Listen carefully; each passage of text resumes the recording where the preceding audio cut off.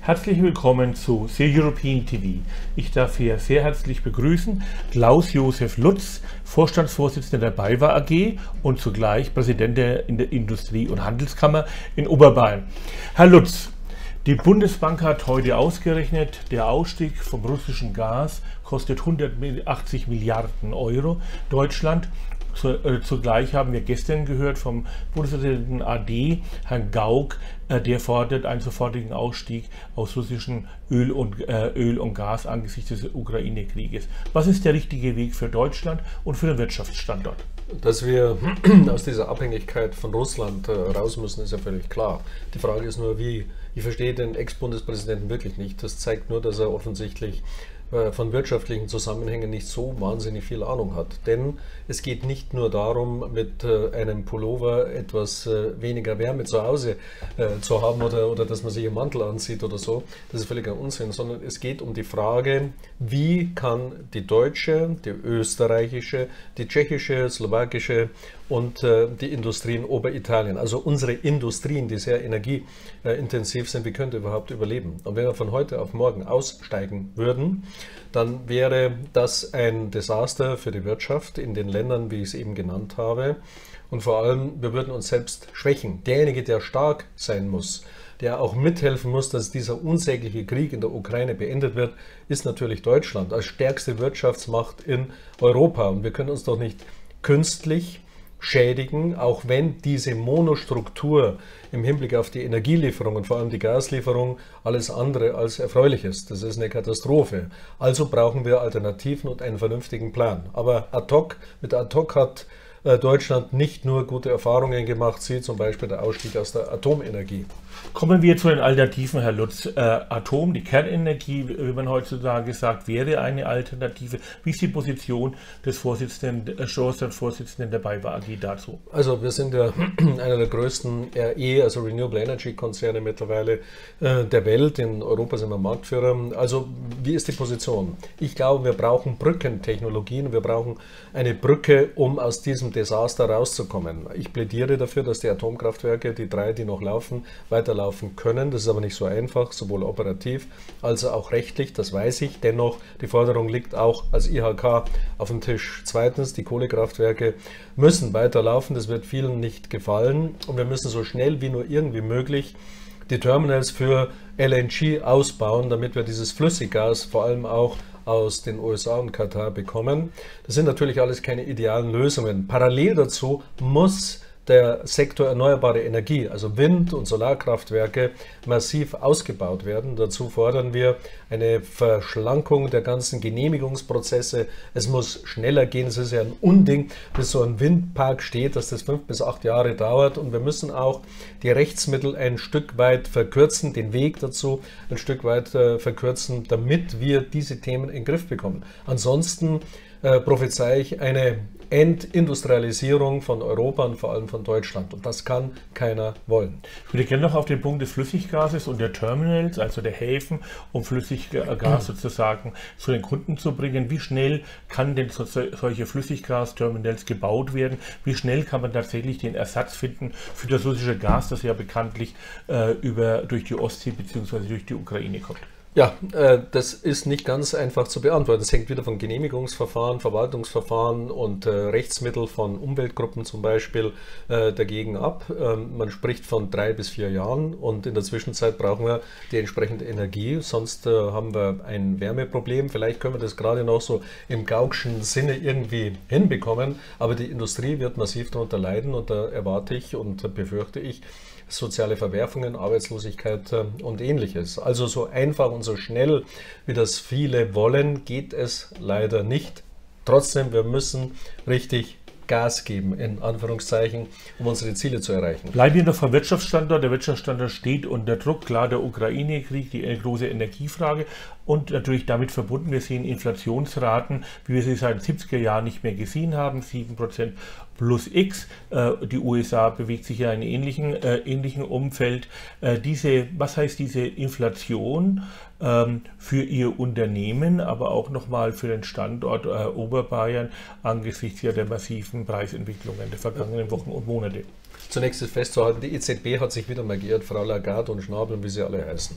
Ja, regt mich auf. Die kommen und sagen, die Inflation ist nur temporär.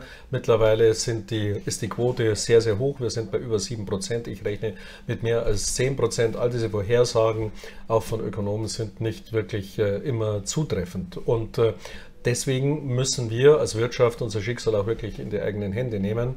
Das bedeutet, dass wir äh, von der Preiserhöhung einen Großteil natürlich weitergeben an den Kunden. Am Ende wird der Endverbraucher, wir alle, werden die Preise zahlen müssen, vor allem im Nahrungsmittelsektor. Und da erwarte ich weiter steigende Preise. Ja, wenn ich es vergleiche mit 20 äh, in welchem Korridor? Dann auch in den Korridor, sagen wir mal, 5 bis 10 Prozent oder sogar darüber hinaus? Äh, sicher darüber hinaus. Ich denke, wir sind bei einigen Warengruppen schon weit über 10 Prozent. Jetzt ist immer die Frage, von wo an rechne ich. Welche Warengruppen sind das?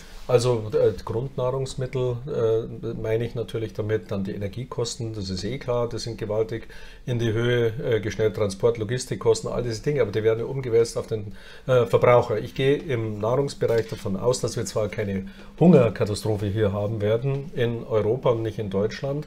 Wir sind zumindest bis zum ersten Quartal 2023 auf der sicheren Seite. Die Preise werden aber weiter äh, steigen und wenn ich äh, 2020 mit 21 jetzt vergleiche, dann ist ein Preisanstieg insgesamt von 30 Prozent durchaus äh, im Bereich des Möglichen. Wie sollte dann die EZB, über die Sie sich ja in der Vergangenheit äh, häufig geärgert haben, äh, reagieren mit, mit, Zinserhöhungen? Was würden Sie den Frankfurter Noten, Notenbankern entwickeln, äh, äh, empfehlen? Das ist schwierig, hier eine Empfehlung abzugeben. Ich möchte nicht in der Haut von Frau Lagarde und dem Direktoriumsmitglied. Das ist ein bisschen die sein. Quadratur des Kreises. Es ist, ist, so, weil wir in Südeuropa eine verschuldete, äh, verschuldete Staaten haben.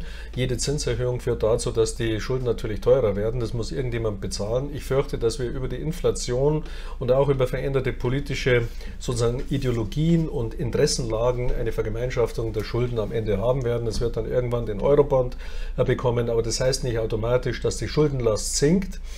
Nichtsdestotrotz, die Inflation zum jetzigen Zeitpunkt ist natürlich, wenn ich an die erhöhten Steuereinnahmen des Bundes zum Beispiel denke, Stichwort Mehrwertsteuer, ist natürlich auch ein Stück weit Entschuldungspolitik für die Regierung. Und deswegen ist sowohl Herr Lindner als auch Herr Bundeskanzler Scholz und andere äh, Amtsträger, die sind ja verdächtig ruhig zu diesem Thema. Bleiben wir bei den, bei den Zahlen und kommen wir zu Ihren Unternehmen. Ihr Unternehmen ist 2021 um knapp ein Fünftel bei dem Umsatz gewachsen auf knapp 20 äh, Milliarden äh, Euro.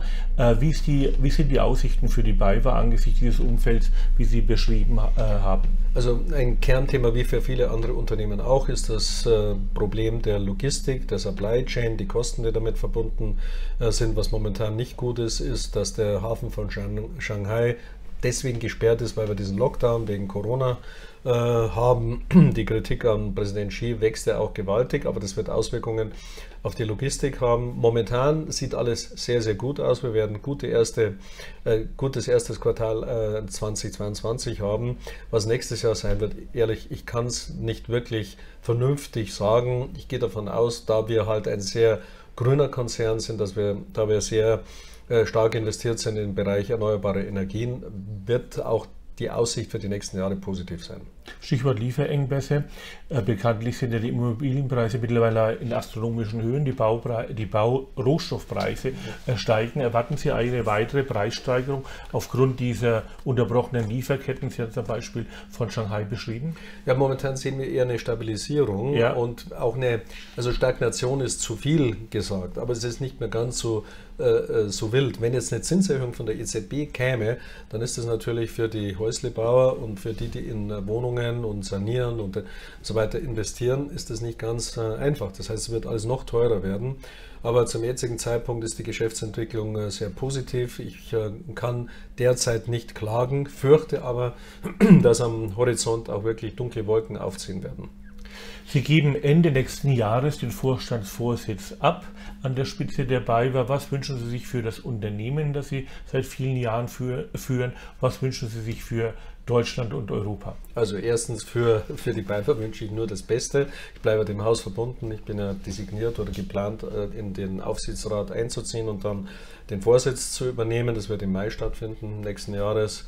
Also da bin ich sehr positiv und auch das Management, das wir haben, ist sehr hervorragend. Für und für Deutschland und Europa? Für Deutschland und Europa erhoffe ich mir eine größere Geschlossenheit. Ich hoffe, dass das Deutschland-Bashing aufhört, das wir die letzten Tage hier erleben. Und, äh, das Deutschland von der ukrainischen Seite oder von der Nein, von der europäischen, oder? von, von Französisch. Ja. Wenn ich zum Beispiel höre, dass François Hollande, der frühere Präsident, der ja nicht gerade von Brillanz äh, sozusagen äh, gesegnet war, dass dieser Mann sich hinstellt in der Öffentlichkeit und sagt, da muss halt Deutschland ein bisschen frieren, wenn sie die Gaslieferungen aus Russland abstellen. Ich meine, da fehlen mir die Worte und ich will das auch nicht weiter kommentieren. Das spricht ja für sich selber, wie wenig qualifiziert dieser Mann ist. Wenn ich aber auch lese, dass mittlerweile Zeitungen, ganz konkret eine gestern in UK, äh, gefordert hat, Sanktionen gegen Deutschland äh, zu definieren, weil wir keine schweren Waffen, was immer das auch ist, an die Ukraine liefern, dann hört der Spaß langsam auf. Da sehe ich dann nicht die große Geschlossenheit und Einigkeit der Europäer, die aber wünschenswert äh, ist. Wir brauchen eine stärkere europäische Integration. Ich weiß aber, dass das wahrscheinlich äh, ein eher Wunschdenken äh, bleiben wird in den nächsten Jahren, weil das alles ja einstimmig in den Vertragsverhandlungen dann definiert werden äh, müsste. Insofern, ich halte die Daumen, dass wir nicht eine Venezianisierung erleben. Damit meine ich, dass künftig, wenn der schreckliche Krieg vorbei ist und sich die Lage wieder stabilisiert, dass ähm, Asiaten, Amerikaner und äh, Südamerikaner, also die ganze Welt zu uns kommt, um zu schauen, wie es früher mal schön war.